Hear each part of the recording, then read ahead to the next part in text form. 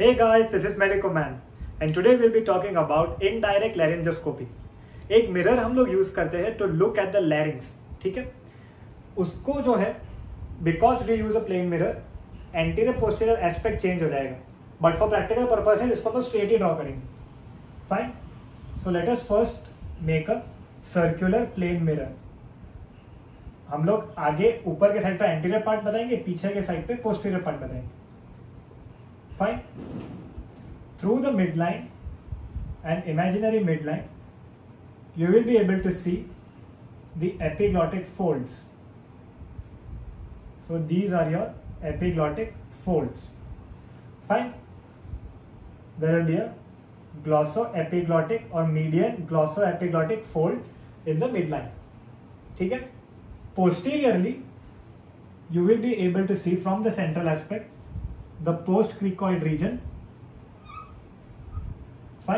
and from there, the cricoarytenoid joints are formed.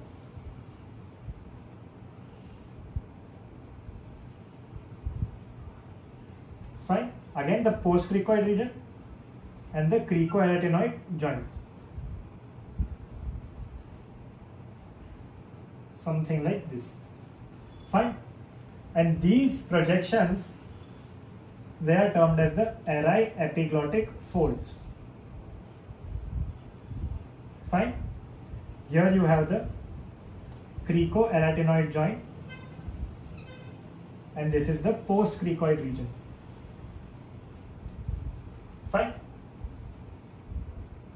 These are the epiglottic folds and this is the median, the median glossoepiglottic fold. Fine. So we have the epiglottis, we have the median glossoepiglottic folds, you have the array epiglottic folds right here, and you have the cricoarytenoid and the post-cricoid region. Apart from that, you will be having the posterior posterior pharyngeal wall view. So this area is the posterior pharyngeal wall.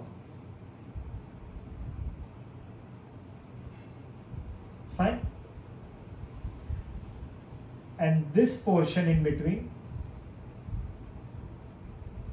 are the two pyriform sinuses.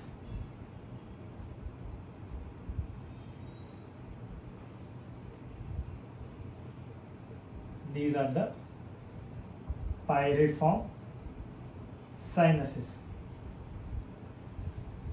Fine. So it is to be noted that the structures within this central area is the larynx and posterior to the post-cricoid that is the post-cricoid right? The two pyriform sinus 1 and 2 and the posterior pharyngeal wall they form the hypopharynx. Okay? In the center we can erase this imaginary line now. In the center we will be able to see the vocal folds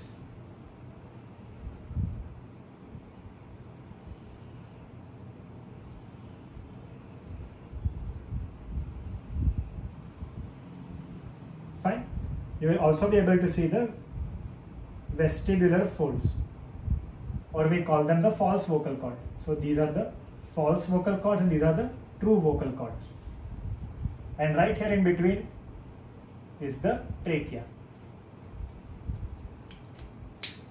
So this is the diagram for the indirect laryngoscope we'll look at the theory for the larynx in next upcoming videos. So do make sure to like and subscribe to Medicoman.